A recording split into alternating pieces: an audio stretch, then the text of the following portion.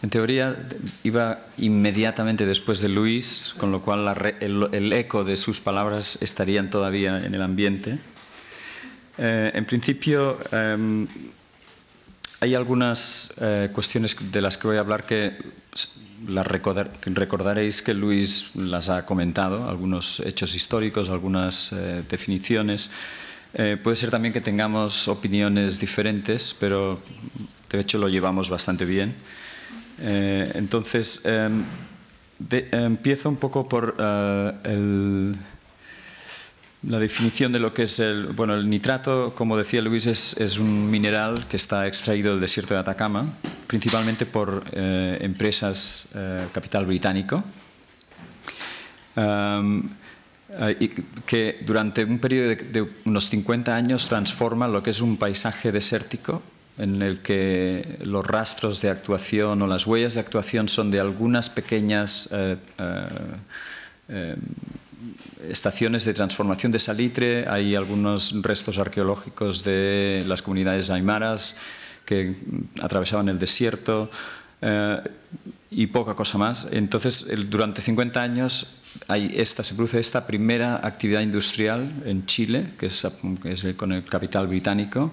y que eh, extraen este mineral, que es un, se utiliza principalmente como fertilizante, pero que también tiene, se utiliza en la fabricación de explosivos y por lo tanto es un mineral que tiene una función generativa y una función destructiva a la vez y por lo tanto está relacionado con la aceleración de formas de vida y la aceleración de formas de muerte. Entonces el, proyecto queda enmarcado temporalmente en esta época, de, se llama la época británica del salitre, que son unos 50 años, son 1870 más o menos a 1920. Y este periodo queda enmarcado por dos guerras, como sucede en muchas eh, eh, extracciones de minerales, siempre hay alguna guerra al principio y al final. Esta es la primera, el, periodo británico del salitre empieza con la Guerra del Pacífico, que es un conflicto de fronteras y un conflicto entre Chile, Bolivia y Perú, en el que eh, Chile se anexiona ese territorio de Bolivia y de Perú y su superficie, territorio nacional, se aumenta en el 30%, o sea que es una anexión considerable. Y al mismo tiempo, eh, los eh, especuladores británicos se hacen con los derechos de explotación del salitre. Y luego, al final del periodo, es la Primera Guerra Mundial, porque eh, las empresas británicas gestionan la comercialización del salitre y los alemanes, para enfrentarse a la industria de guerra, para fabricar explosivos, tienen que buscar una alternativa al nitrato. Y entonces empiezan a producir eh, hacen un, sistema de sintetización del aire, eh, del nitrato del aire, y, empiezan a fabricar artificialmente nitrato. De manera que cuando se acaba la guerra, los alemanes, Alemania tiene unas 200 fábricas produciendo nitrato, que luego ya no se necesita para, para fabricar explosivos y se dedica a la, a la industria de fertilizantes, con lo cual los ingleses deciden que sus intereses en el desierto de Atacama se han terminado. Entonces, es el legado de esta industria, que es la primera, el primer proceso de industrialización en Chile, deja un legado considerable en, la, historia contemporánea chilena, mucho mayor que el, el legado que deja en Gran Bretaña, donde la articulación de esta memoria histórica, de esta relación entre Gran Bretaña y Chile, es debida principalmente al trabajo de algunos departamentos de estudios latinoamericanos que en los años 70 con eh, el proceso revolucionario chileno de, Allende, se interesan por el caso de Chile, por los orígenes de la dependencia económica de Chile, que es uno de los argumentos de Allende para nacionalizar el cobre, y luego con la irrupción de Pinochet se interesan sobre todo por el origen de las formas estatales de violencia. Entonces el, proyecto nuestro de, desarrollado por, Luis y, por mí con, un estudiante de doctorado que tenemos en la Universidad de Brighton, Ignacio Acosta, un fotógrafo chileno, surge básicamente de este álbum, que es un álbum de fotografías que se llama Oficina Alianza y Puerto de Iquique, que está en la colección de la Universidad de Navarra. El Museo de la Universidad de Navarra tiene una colección de fotografía española del siglo XIX y está organizada en torno al principio de que las imágenes fotográficas son de temática estatal, del Estado español. Entonces tienen eh, álbumes fotográficos pues, de paisajes españoles, de, de, construcción de infraestructuras en España, de, de retratos de fiestas populares, etc. Y este, en, este, en esta en este, colección de fotografía del 19 está este álbum, que no tiene una temática eh, nacional. Entonces es un álbum que queda un poco en la periferia de esta colección y queda un poco como no desarticulado, pero sin articular dentro de esa colección. Entonces esta condición de orfandad es la que de alguna manera nos atrajo o me atrajo a este álbum. Ah, el proyecto, eh, a partir del álbum, de este álbum, hemos, hecho como una, hemos efectuado como una, especie de acercamiento por rodeo, uh, circunnavegando este mineral, para señalar o interrogar ciertos momentos y ciertos espacios o ciertos objetos, ciertos archivos que contienen o que tienen una cierta actualidad o que tienen una resonancia con una cierta actualidad, relacionando elementos distantes temporalmente, eh, geográficamente, provocando el diálogo entre lo que es dominante o que se ha articulado históricamente y lo que queda un poco residual, para enfocar o revelar, podríamos decir, eh, y de hecho esta palabra de revelar tiene una dualidad semántica que tiene que ver a la vez con la historia y con la fotografía, para revelar, decía, historias de lo visible y de lo que se ha mantenido oculto, arrinconado o simplemente borrado el proyecto eh, toma la forma de un ensayo fotográfico compuesto por diferentes series de fotografías, retículas, eh, dípticos, materiales de archivo, textos. Son textos que adoptan el formato de lista, son listados que actúan como pies de foto expandidos o sobredimensionados y que comparten estatuto con la imagen a veces incluso la sustituyen, estableciendo tensiones y diálogos, ecos y resonancias entre todos estos elementos, presentados como un montaje de registros subjetivos llenos de lagunas no oficiales. Entonces, estos registros giran en torno a tres ejes, básicamente. Una es la representación del desierto de Atacama como territorio de frontera, con un papel importante en la construcción de imaginarios nacionales y coloniales, especialmente en momentos específicos de violencia. En segundo lugar, en torno a las representaciones del trabajador y del trabajo y cómo estas representaciones son posibles en el presente. Y en tercer lugar, en torno a los flujos de capital entre lugares geográficamente distantes, de campos de nitrato remotos y de distritos financieros metropolitanos, y las formas que toma el capital cuando éste vuelve a su lugar de origen transformado en plusvalía. Decía que el punto de partida del proyecto es este álbum fotográfico Cine Alianza y Puerto de Iquique, que es está en la colección de Navarra, de la Universidad de Navarra. Es un álbum que contiene, como ha dicho Luis, unas 80, 90 fotografías y que documentan eh, es fotografía industrial de la época que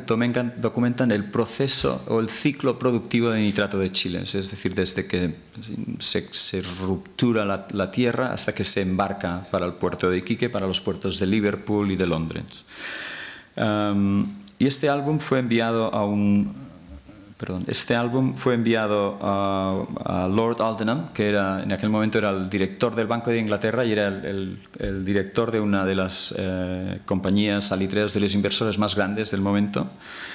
Eh, y él se lo envía un empleado suyo en Chile, es un, álbum que sale del desierto de Atacama, como el salitre hace el mismo viaje y llega a la City de Londres, como llega al capital y le llega al despacho. Y este álbum llega esta, esta carta, que es la carta del, del, empleado, que se lo regala como recuerdo al inversor, como recuerdo de esta inversión. Este es un término interesante para, para hacer la lectura de este álbum que, como hablaba Luis. Y luego eh, hay otra carta dentro, bueno, de hecho no es otra carta, sino que es el mismo em, Lord Aldenham que recibe el álbum, le envía un mensaje de agradecimiento a su empleado y como buen eh, empresario registra este, esta carta que le envía en el reverso de la carta que viene con el álbum. Y entonces él explica en esta carta, le dice, em, está muy agradecido por las eh, bellas fotografías, dice, y por, por, este álbum, dice, este, este álbum tan bello, dice, y si el negocio produce un resultado correspondientemente bello, será en gran medida a la, tu diligencia, etcétera, etcétera. Entonces, es interesante esta, eh, en primer lugar, es el, el objeto, el álbum como recuerdo, como souvenir, esta es la palabra que él utiliza. Y luego es interesante esta idea de la correspondencia entre la belleza de las fotografías y la belleza del capital. Entonces, a partir de aquí, eh, es como empezamos a, un poco a, hacer como una especie de remontaje en el tiempo y, a, encontrar un poco las huellas de este, de este mineral y de estos objetos que han circulado en, esa dirección. Entonces, eh, Lord Aldenham era Henry Hux Gibbs, un hombre de negocios, era un hombre ilustrado, profundamente religioso, coleccionista de manuscritos medievales y obras de arte, autor de, un tratado sobre el bimetalismo y colaborador regular del primer diccionario Oxford de la lengua inglesa. Cuando él recibe el álbum, Lord Aldenham es el director del Banco de Inglaterra eh, y es de la casa Anthony Gibbs Sons, una empresa familiar de larga tradición mercantil que fue la primera compañía británica que se estableció en la costa del Pacífico de América del Sur. A principios del 19 por mediación de sus socios en Cádiz, llegando a acumular una gran fortuna y conocimiento del terreno con el monopolio del guano de Perú, lo cual le sirvió para que, una vez acotado el guano, fuera de las primeras en posicionarse en el mercado incipiente de explotación de nitrato a Europa.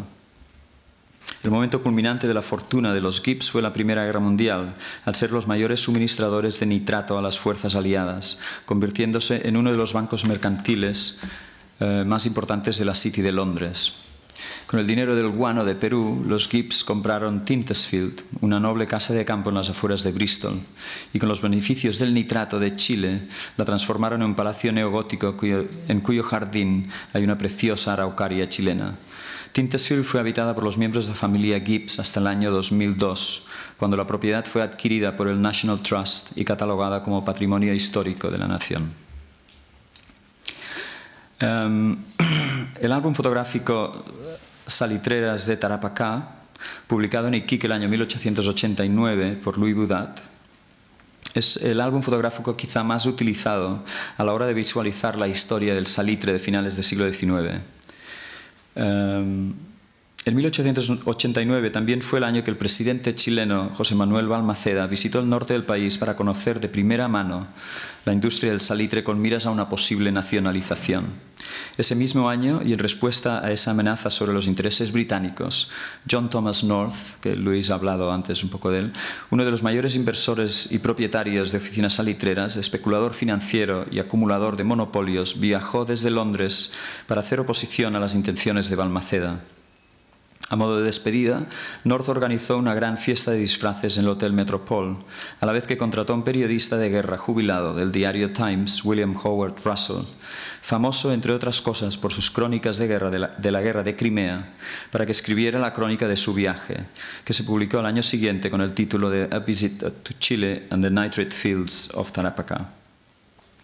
Las fotografías de Budat muestran los enclaves productivos de las salitreras, rodeadas de, esta geografía seca y estéril del desierto de Atacama. El álbum está introducido a modo de voz por un collage formado de retratos de los propietarios, administradores, eh, agentes comerciales y de salitreras que estaban funcionando en ese momento. Además de este retrato y de las vistas eh, fotográficas, el álbum también contiene un registro detallado de la capacidad productiva, de la maquinaria, herramientas, número de animales, trabajadores y edificaciones de cada una de las oficinas representadas. Estas fotografías muestran el contexto de adversidad geográfica donde se construye aparentemente de la nada esta voluntad empresarial. En las fotografías del desierto aparece como el desierto aparece como un espacio infinito Paula Cortés escribe en El tiempo y la máquina que el desierto latinoamericano es para la fotografía del siglo XIX un espacio de lo posible, dice, un espacio escribible, las fotografías de Budat constituyen un álbum de familia de los productores de nitrato. Son una afirmación colectiva de la propiedad realizada en el momento de la formación de la primera combinación o asociación de productores, un cártel formado para controlar la producción y regular el precio de los mercados internacionales. El álbum de Budat y los viajes de Balmaceda y North definen en gran medida el contexto político del conflicto de intereses sobre los productores extranjeros y la parte del gobierno chileno representada por el presidente Balmaceda, conflicto que terminó con una guerra civil y con el suicidio de Balmaceda en el año 1891. Estas fotografías, por lo tanto, eran realmente una declaración de intenciones afirmadas mediante el retrato colectivo de la propiedad como una fuerza consolidada y unida, dispuesta a hacer frente a las adversidades geográficas del desierto y políticas de la nación y proteger sus intereses particulares respecto a los intereses nacionales de Chile. Una familia, por cierto, no siempre bien avenida, como demuestran las constantes disputas y querellas diplomáticas entre John Thomas North y Henry Hux Gibbs. De ello, hecho, como decía Luis antes, ellos competían entre ellos. North tenía el monopolio del agua, él suministraba el agua al desierto, y él tenía el control del ferrocarril ambas cosas que necesitaba Gibbs para sus empresas. Entonces ellos están siempre discutiendo y tienen, estos conflictos. North tenía,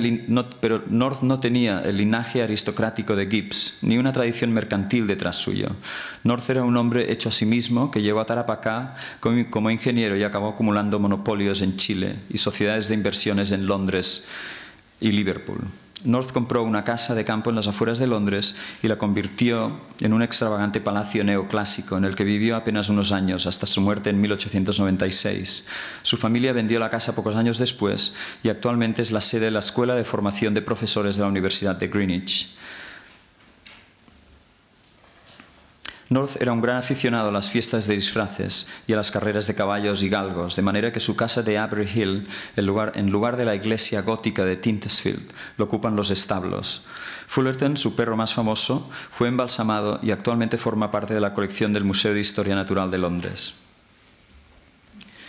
El otro álbum eh, importante para entender el ciclo productivo del nitrato lleva por título Vistas fotográficas de las faenas y puertos salitreros estos son los dos álbumes, de hecho, que hay para visualizar la historia del salitre de esa época. Son estos dos álbumes. Y este fue publicado diez años más tarde del anterior en Iquique por la Asociación Salitrera de Propaganda del año 1899. Este álbum tiene prácticamente las mismas fotografías y casi la misma secuencia que el álbum Oficina, Alianza y Puerto de Iquique, enviado a Lord Alderman. Las fotografías de este álbum fueron utilizadas en folletos y publicaciones eh, en versiones facsímiles del mismo hasta bien entrados los años 30, quizá incluso más tarde como material de difusión y propaganda de la Asociación de Productores. Como hemos dicho anteriormente, las fotografías muestran paso a paso el ciclo productivo del nitrato de soda. En muchas de estas fotografías, los trabajadores, los trabajadores aparecen posando para el fotógrafo, aparentemente siguiendo sus instrucciones o con la apariencia de no posar. De manera que estas fotografías no muestran necesariamente el momento del trabajo, sino al trabajador en el momento del acto fotográfico. Esta gestualidad detenida para la toma fotográfica parece incorporar al trabajador a la propiedad, compartiendo estatuto con la máquina. Como es característico de la fotografía industrial de la época, y debido a unas limitaciones que son principalmente técnicas, es decir, una velocidad de obturación lenta, el uso del trípode, dice eh, que eh, pero que acaban teniendo una lectura especialmente política, la gestualidad del trabajador en el preciso instante eh, del trabajo, la, gestualidad del trabajador en el preciso instante del trabajo no queda registrado en estas fotografías. Tanto el álbum de Budat como el de las vistas fotográficas articulan perfectamente una retórica empresarial a través de la representación de la propiedad y del ciclo productivo. Ambos proyectan una mirada sobre el desierto como un territorio de inversión, una mirada correspondientemente bella, como el capital, que unido frente a las adversidades geográficas y políticas transforma el desierto, otrora un, un paisaje supuestamente vacío e indiferente en un paisaje para la exportación. El desierto de Atacama, en tanto que territorio de frontera, arrebatado militarmente a Perú y Bolivia, es en primer lugar un espacio de identidad nacional. Es un lugar de batallas y personajes históricos conmemorados por la nación el desierto es, por lo tanto, un lugar militarizado. Por otro lado, en la época del salitre, el desierto fue un lugar ocupado económicamente por empresarios salitreros, que mediante una estructura de carácter colonial explotaron unos recursos naturales no renovables, transformándolos en mercancías a cambio de una renta y de un salario. Este intercambio desigual puso en conflicto la relación entre el Estado-nación y la explotación extranjera. En consecuencia, el desierto fue el escenario de una lucha doble por la renta del Estado y por el salario de los trabajadores, pero esta vez el ejército tomó partido preservando los intereses extranjeros. Esto ocurrió violentamente en la época del nitrato con Balmaceda,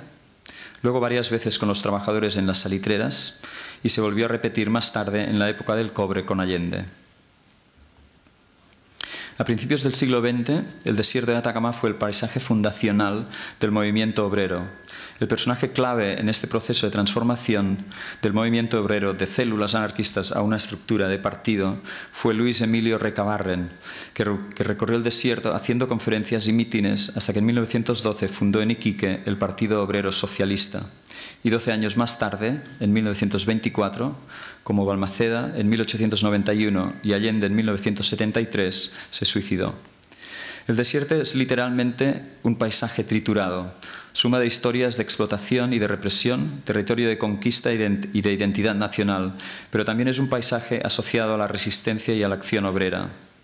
Durante la dictadura de Pinochet, el ejército del aire hacía prácticas de tiro con los pueblos y los cementerios abandonados. Eh, eh, de los campamentos salitreros, un acto de violencia premeditada infligida a un paisaje asociados a la memoria obrera y al intento de recuperación de esta memoria iniciado por Allende en la oficina Chacabuco, que la declaró monumento histórico en 1971 y Pinochet la convirtió dos años más tarde en un campo de detención para prisioneros políticos. Pero una imagen recurrente de los relatos de la época del salitre es el camino, el caminar de una oficina a otra para asistir a reuniones sindicales, para encontrar trabajo en otras oficinas o para bajar a Iquique en huelga.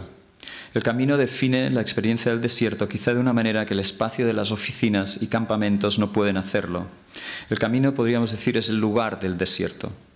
Es el estar fuera, es movimiento, es comunicación, es desahucio. Pero son los montículos de residuo industrial, los montículos de ripio, los que ofrecen una imagen clara y contundente del trabajo. Los montículos de residuos son la imagen de la acumulación, accidentes topográficos que dan cuenta del desierto como un paisaje de explotación. Como elementos en el paisaje, los montículos son la huella de la acumulación y permiten leer el desierto como una territorialidad no solamente económica, sino también política. Como puntos de visión o miradores, sin embargo, los montículos permiten dar testimonio de este paisaje de abandono y de pérdida. Esta topografía de residuos, estos son residuos de, roca que no contiene un grado suficiente de mineral como para ser transportada a la fábrica, esta topografía de residuos está trazada a mano mediante el movimiento y la fuerza del cuerpo de los trabajadores. Estos montículos remiten, los montículos de ripio y, los montículos de roca, remiten a la gestualidad del cuerpo de los trabajadores que levantaban y evaluaban la piedra, el mineral o el residuo para ponerlos en un montón o en otro. Estos montículos de residuo de roca y de, ripio representan una topografía de comunidades desaparecidas y desplazadas, una restitución del cuerpo ausente del trabajador, ocultado en o por la historia. Nada quizá puede mostrar mejor el mundo del trabajo que estos cuerpos de residuo, cuerpos trazados a mano, que como escribe Michael Tausig en Michael Caine Museum, son una visión milagrosa de la transformación de la naturaleza por la mano del hombre, un monumento al dominio del hombre sobre la naturaleza a través de su dominación sobre los demás. Dice, es un archivo de historia nacional. Esta dominación del hombre sobre las demás se ejerce eh, en el día a día como un bajo continuo, pero se condensa en estallidos de violencia como el del día 21 de diciembre de 1907, cuando varios centenares de trabajadores en huelga fueron asesinados por el ejército chileno en la escuela de Santa María de Iquique. Desde entonces y hasta el 2011, la escuela, la escuela, de Santa María había sido un lugar de memoria para los trabajadores de la región, siendo lugar de salida o destino de manifestaciones, así como ocupaciones y encierros de trabajadores en huelga. La densidad política y de memoria de este lugar era evidente por los grafitis políticos de las paredes exteriores de la escuela antes de, su demolición en enero de, 2011.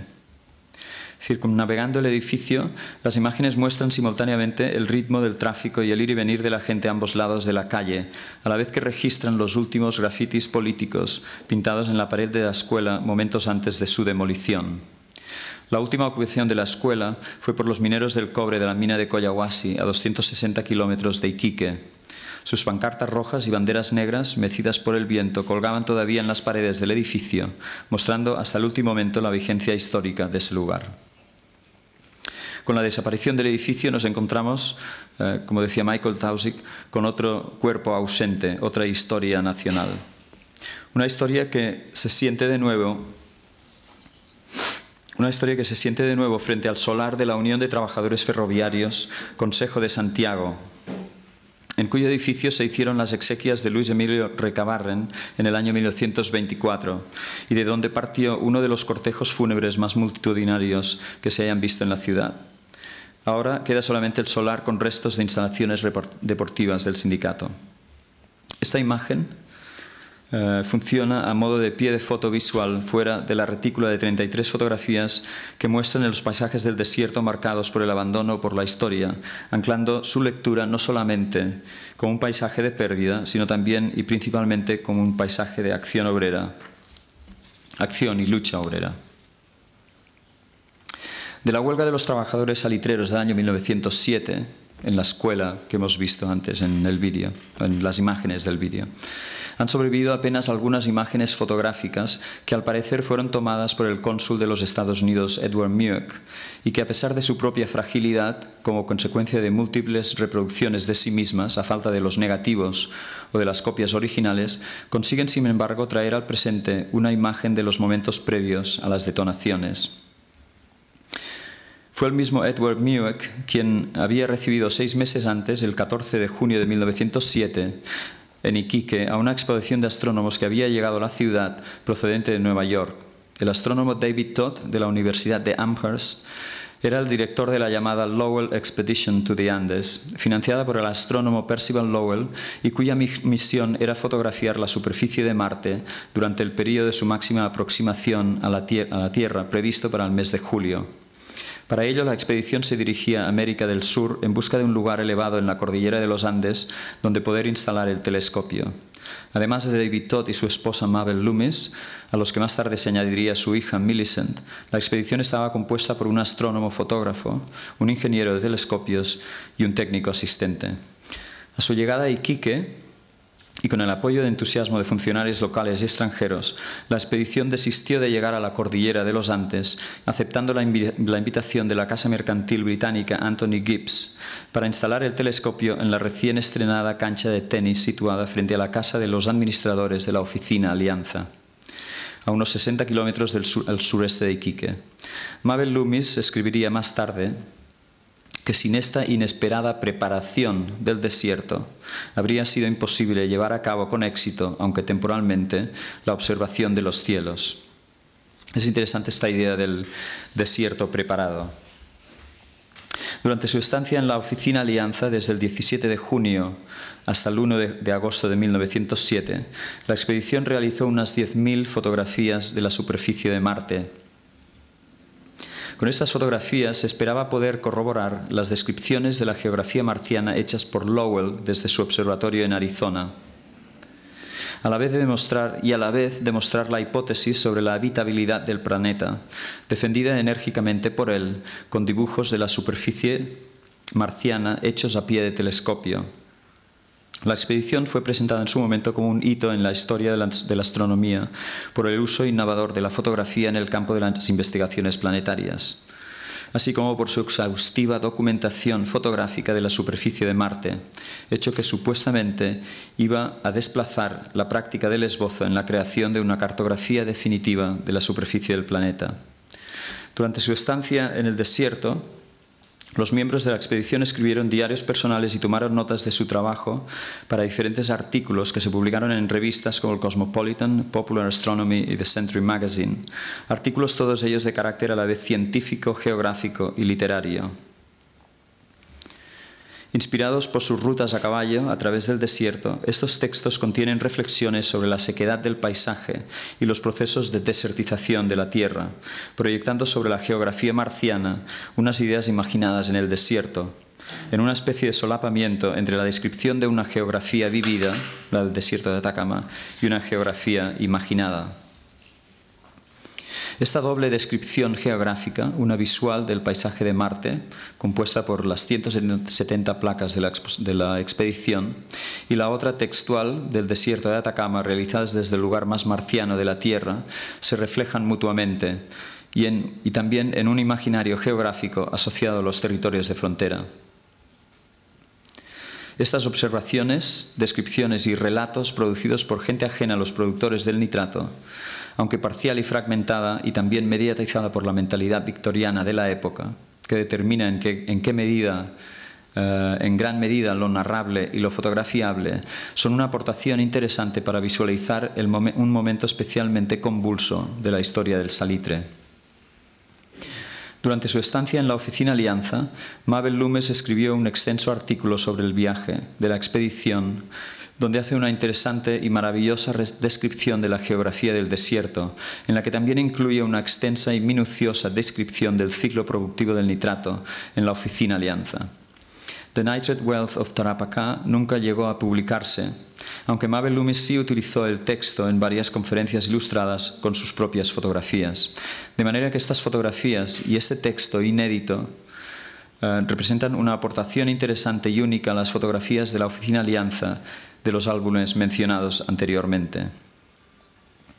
El texto de Mabel Loomis está repleto de descripciones y referencias a los movimientos y a los ruidos del trabajo, tanto de animales como de herramientas, máquinas y trabajadores. Las fotografías tomadas al vuelo y sin trípode durante los paseos por los alrededores de la oficina también parecen abordar, en correspondencia con el texto, el movimiento de los cuerpos y el ruido de los trabajos. En una de las fotografías se ve prácticamente su sombra, se ve parcialmente su sombra, su cámara supuestamente a la altura de la cintura, fotografiando a un trabajador en el hoyo de una calichera. Otras imágenes muestran el movimiento y el esfuerzo físico del hombre y de, hombres y animales para mover, para tirar, levantar o empujar de un lado a otro la carga del mineral o del residuo. Sus negativos, desgraciadamente, están casi tan triturados como el desierto. La mayoría un poco fuera de foco, borrosos o movidos. Sus fotografías no son técnicamente impecables como las de Budat, ni tampoco parecen responder a una cierta noción de proyecto. Se trata de un diario visual descargado de retórica,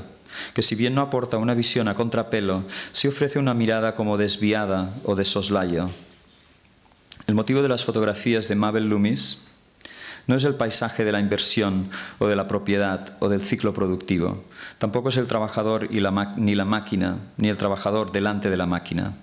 Las fotografías de Mabel Loomis muestran el gesto inadvertido de los cuerpos en el preciso instante de la explotación. De los basurales de los pueblos abandonados se puede encontrar pedazos de ropa, zapatos gastados, latas, cosechas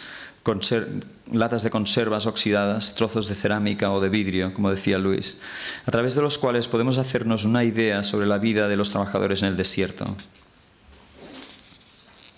Sin embargo,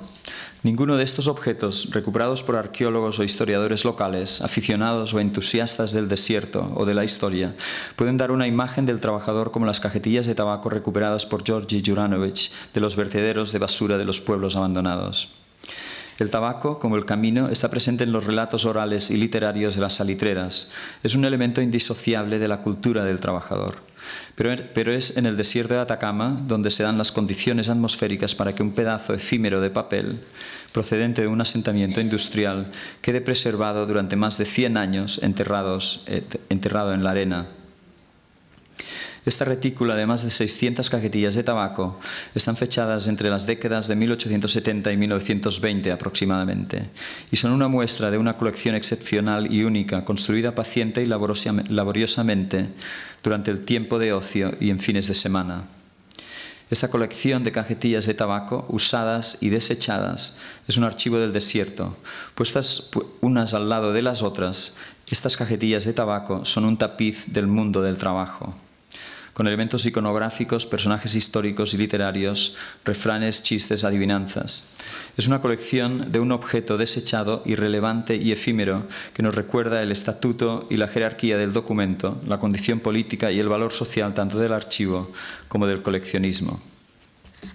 Esa dominación del hombre sobre los demás de la que escribía Michael Taussig, se materializa no solamente en los montículos de residuo abandonados en el desierto, sino también en los distritos financieros como el de la City de Londres, lugar de procedencia y destino del capital que hizo posible la explotación del desierto. En el desierto de Atacama, el ciclo de construcción y demolición es un ciclo único de llegada y salida de capital, de inversión y abandono. En la City, sin embargo, este ciclo, de, este ciclo de construcción y demolición se repite incesantemente al ritmo de la especulación, convirtiendo su espacio público en una acumulación de demoliciones y de memoriales. La City, como decía Ian Sinclair, es un territorio termita, en el que ambas, construcción y demolición, forman parte de un mismo proceso de producción y reproducción de capital. La geografía del nitrato en la trama urbana de la City, contrapunto o reflejo de la geografía del desierto, es apenas descifrable. En el año 1908 había 42 sociedades salitreras registradas en la Bolsa de Londres, de las que 33 compartían 12 direcciones postales que se ubicaban en nueve calles, lo cual es un indicio claro de que esta industria estaba gestionada por un grupo relativamente pequeño de personas. El anuario de la Bolsa de Londres del año 1908 nos da la clave de un juego de escala que muestra las imágenes, las diferentes dimensiones geográficas del nitrato a ambos lados del Atlántico. La City de Londres es el centro financiero que se proyecta globalmente a través de sus bancos, de sus casas mercantiles y compañías de seguros. En el número 30 de la calle St. Mary Axe se ubicaba desde el año 1903 la sede del Baltic Exchange, la bolsa de contrataciones de transporte marítimo de mercancías que llevaba operando en la City desde, desde hacía más de 250 años. En 1992, el edificio fue demolido por un artefacto explosivo colocado por un comando de Lira, que utilizaba bombas de fertilizante en sus ataques a los centros neurálgicos del colonialismo británico. Al año siguiente, detonó otro artefacto delante de la sede del Hong Kong and Shanghai Banking Corporation, HSBC, de la calle Bishopsgate, un conglomerado financiero internacional que en su portafolio de inversiones aparece la compañía Anthony Gibbs. Como consecuencia de la onda expansiva se derrumbó la iglesia medieval de Santa Etelburga, situada en la acera de enfrente. La iglesia fue reconstruida diez años más tarde y en su interior se encuentra como un eco de esa explosión, una pila bautismal del siglo XIX que quedó intacta y en su plano superior, alrededor del cuenco, lleva inscrito en griego el palíndromo Purifica mis pecados, no solo mi apariencia. Detrás de esta pila bautismal, una maleta con aparatos de medición registraba las vibraciones provocadas por los trabajos de demolición del edificio adyacente a la iglesia. Como consecuencia de estas detonaciones, la City se convirtió en un clave militarizado en pleno centro urbano de Londres, vigilado mediante barricadas, controles policiales, cámaras de seguridad y todo tipo de medidas disuasorias. Sigmund Bauman escribía en Society and the Siege que ya no existe el muy lejos, que ningún territorio puede mantenerse, mantener la distancia respecto a la violencia y que sin esa distancia cualquier lugar se convierte en un territorio de frontera. Las estrategias militares, antaño reservadas para el frente, hacen ahora un viaje de retorno hacia el centro. Michel Foucault lo determinó el efecto boomerang, una especie de colonización interna donde estrategias de control del territorio típicamente coloniales vuelven a aplicarse a la gestión y el diseño de, de las ciudades occidentales. Al final de su artículo, Mabel Loomis reflexiona sobre el futuro del desierto de Atacama cuando las reservas de nitrato se hayan agotado. Entonces, escribe, dentro de 100 años, habrá métodos de construcción que serán capaces de extraer el poco salitre que queda en los montículos de residuo, dando de nuevo valor a este material descartado. Al final de su artículo, Mabel Loomis parece, parece, dar un vuelco a ese solapamiento entre el desierto y Marte, en tanto, en tanto, que ahora no es el desierto el que inspira imágenes de la geografía marciana, sino al revés, parece interpretar la geografía futura del desierto de una manera parecida como se imagina la geografía de Marte, con sus canales de irrigación, convirtiendo estos páramos desolados en un jardín cultivado.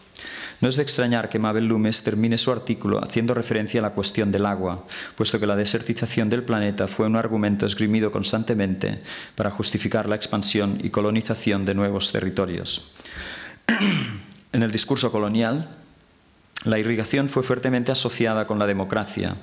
de la misma manera que la desertización lo era con el despotismo, lo que hace que de nuevo haya otra interesante tensión